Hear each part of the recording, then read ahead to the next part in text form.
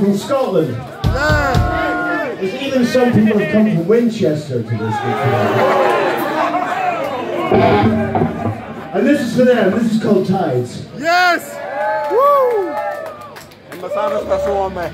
Empezando, Thank Reykjavík.